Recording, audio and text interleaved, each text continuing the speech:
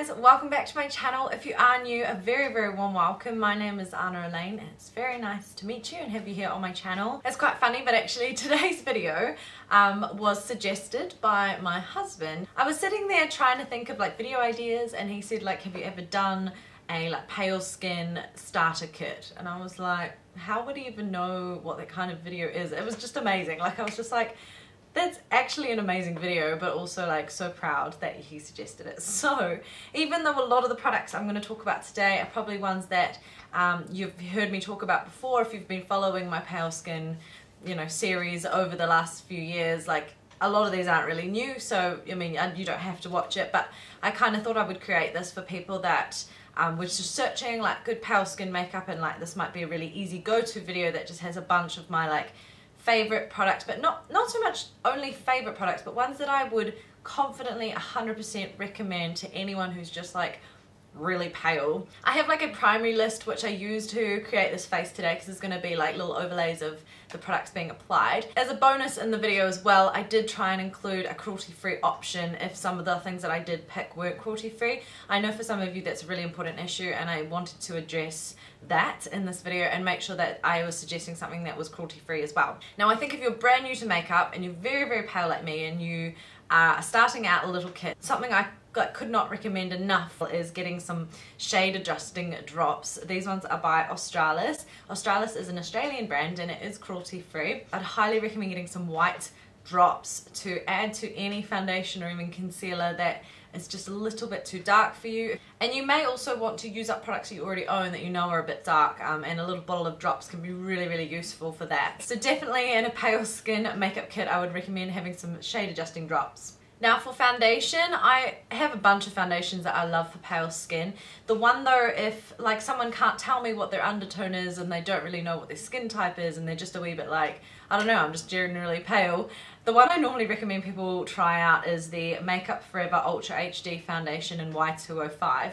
The reason I selected this, and it is what I'm wearing on my face today, is it's neutral undertone uh, so therefore it doesn't matter really what undertone you have generally unless you're very much like super warm or super cool this will match you because it is neutral it's also a medium to buildable coverage so it's like kind of a standard sort of in the middle coverage. It's not super heavy not super light but you can sheer it out and you can build it up. In my experience it also works on quite a range of skin types. Like I have a sort of normal oily combo-y kind of skin. Like I don't get super dry skin but I can tell that this doesn't cling to dryness and it also holds up well on any oilier areas of my skin. So for me, I feel like this is a pretty safe product to recommend for a lot of skin types, a lot of undertones, um, and a good sort of average coverage level. So that's why I recommended that one. However, I could not find online if Make Makeup Forever was cruelty free and I don't think it is so if you are wanting something cruelty free one of my other favorite products to suggest is Illamasqua skin base foundation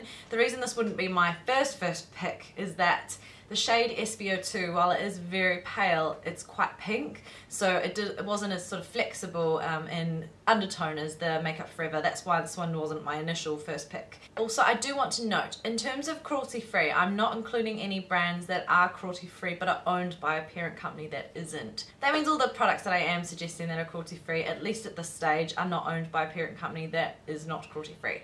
So the next product I'm suggesting is NARS. NARS itself is a cruelty-free brand, but it's not owned by a cruelty-free parent company, so that's why I'm not including it as a cruelty-free option. It's the NARS Soft Matte Complete Concealer in Chantilly, and I used to love the Radiant Creamy Concealer. It was my absolute holy grail for so, so long. And then they brought out this version, and I actually now like it better, which is crazy because I never thought I would really like a product better than my NARS Radiant Creamy. For starters, it's a very, very pale concealer. It is long, slightly on the warmer side, but I have a neutral cool undertone and this looks fine on me. So I feel like, again, it's sort of more neutral and it can kind of go either way. It is matte, so it's not going to emphasize any breakouts that you put it on, but it also doesn't look dry under the eye. As long as you set it with a bit of a powder, then it works beautifully under the eyes. So this is my sort of safe bet um, option for suggesting a concealer. I thought I would also mention the Kat Von D Lock-It Tattoo Concealer Cream in the shade L1 Neutral. If you want an extremely pale under eye, or maybe you are just extremely, extremely fair, like much fairer than me, then you would love this concealer. This is the lightest concealer I have in my collection and the lightest one I've ever found. Now for powder, I did manage to find one that, well, I love and is also perfect for pale skin and it's cruelty free. It's by Models Prefer and it's their mineral powder in the like finishing veil sort of color I guess. It's not 100% transparent but it's also not really that colored. It's more of a sort of satin finish powder so it doesn't make you look matte or cakey or heavy but it doesn't really add too much coverage and it is really like illuminating on the skin so it's perfect for pale skin I think very fair skin looks beautiful with kind of a pearlescent glow to it which is why I love this powder I can use it to set my under eye and any like concealer work on my face. I can use it with a big fluffy brush all over my face as well. Now for contouring, I actually have two. I cheated here, um, although I only demonstrated with one of them today. The first is the Makeup Geek Contour Powder in Breakup, and this is more of a cool toned contour, which is what I've used today. Um, it's very affordable and it is cruelty free as I said and it just the tone of this is so so perfect for like neutral to cool undertones. It lasts so long like a little bit goes such a long way that this will like you buy it use it every day and I guarantee it would last you well over a year. So it's a very very very good investment for pale skin. And the other one which is also cruelty free which is a bit more of a luxury product so if you do prefer investing in luxury brands um, this one is by Kevyn Aucoin and this is the sculpting powder in light. They're very similar, but the Makeup Geek one is just a touch cooler, whereas I think the sculpting powder is just a touch warmer, but it's still very much a cooler toned contouring powder. Now for bronzer, this one was a little bit more hard again. I feel like there's two different types of bronzer. People either like a more sort of glowy bronzer or a matte bronzer, so I picked two. I've got the Bare Minerals Invisible Bronze fair to light bronzer, which is what I've used today. And this is the most beautiful kind of glowy satin finish bronzer. It will give you a lovely glow whilst also warming up your complexion. It's very, very fair. Doesn't have any chunky glitter or anything. It's just a lovely sort of pearlescence. And the matte bronzer I wanted to mention was the Benefit Hoola Lite Bronzer. I think this is a fantastic product. I've just done a review on it recently as well. This is 100% matte, so if you prefer a more matte bronzer and maybe something that's a little bit more of a warmer undertone, then this one is a really good pick. Benefit and Bare Minerals are not 100% cruelty free, so if you are after a cruelty free option, um, I would suggest the Physicians Formula Butter Bronzer, which is quite similar to Hoola Lite. It's just a little bit more on the warm side. Um, so this one's quite warm, but it is very fair. It's mostly matte. It's kind of like a satiny matte finish. In terms of a blush though, I would recommend someone with pale skin if they were like just starting out. Uh, I would 100% recommend the Tarte Amazonian Clay Blush in Exposed. A lot of you guys recommended this for me when I did my best blushes for pale skin video and I was so pleased I invested in it because it is just the best color for pale skin. It's super natural looking, but it's not like a tan. Like it's very much a sort of soft, dusky, rosy color, but it looks very natural on the skin. However, again, not cruelty free that one. So another blush that I would recommend that is cruelty free or any of the ones in the line really, but the Hourglass Ambient Lighting Blushes, I think these are fantastic, but particularly this middle color, which is Incandescent Electra. It's like got a lot of sort of peachiness to it, but it's also got a beautiful kind of um, glowy marble through it. I don't really know of a cruelty-free blush that looks identical to Exposed. If you do know, leave a comment below because that was sort of something like, I have a lot of nice cruelty-free blushes, but nothing that is like this one. For highlighter, again, I do have my Bare Minerals Invisible Glow Powder, which is the more sort of subtle highlight that I like using on an everyday basis. This one looks so stunning on pale skin because it's got that beautiful kind of soft pinky glow to it. Um, so highly, highly, highly recommend that one for pale skin for an everyday highlight.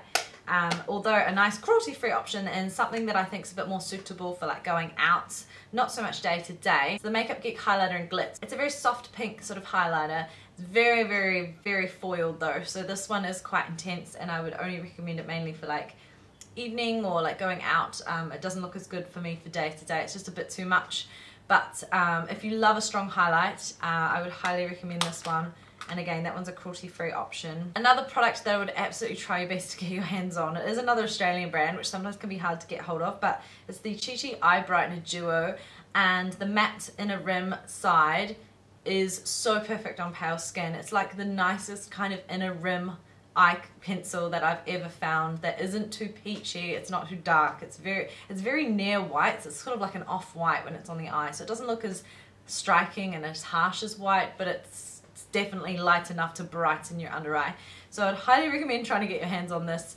Um, Chi Chi are also cruelty free, so that's a really good option for you guys out there. Obviously for lips, I think it's quite an individual thing whether you like nudes, reds, pinks, like whatever sort of shade. I do have a full video on like best lipsticks for pale skin, so check that out if neither of these three options I want to show you like tickle your fancy. But my favourite lip colour for pale skin for a nude is MAC Blankety. Um, my one's like really run out. I've got a back, I've got a full size in my bag as well. This is the only lipstick I have like multiples of around my house. But this colour is just like the perfect nude for me. But again, MAC, not cruelty free because they sell in China. So if you are after a similar sort of colour, the Hourglass Lip Girl Lip Stylo in influencer is quite similar. It's maybe a touch deeper than Blankety, but it's still in the same kind of vein. And the product, the actual formula of these lipsticks is gorgeous as well. So if you're after a cruelty-free nude lip option, I'd check out the Hourglass one. And then obviously I just thought I'd include my favorite bright red lipstick because I think no sort of basic makeup starter kit is complete without a nude lippy and a red. And my favorite one is a cruelty-free option. It's the Stila Stay All Day Liquid Lipstick in Beso. This is the most beautiful red lip color I've ever come across in my life. I love the formula of the liquid lipstick and the color is just so nice and bold. It's that perfect kind of red where it's smack bang in the middle. It's like neutral. So it'll go with cool undertones and warm undertones and I just love it. So definitely one to check out for your kit. So that's it for my video today. I hope you guys enjoyed it and found it useful. Do leave me any comments below of any products that you think are essential for like a you know beginner makeup enthusiast getting into makeup and they have really pale skin. I'd love to hear what your thoughts are. If you want some more viewing material on best products for pale skin, I'll link my playlist here, which has like 10 different videos on like my favorite products for pale skin. And you can also subscribe by clicking on my face. So I hope you guys have a wonderful few days. Thanks for watching and I'll see you next time.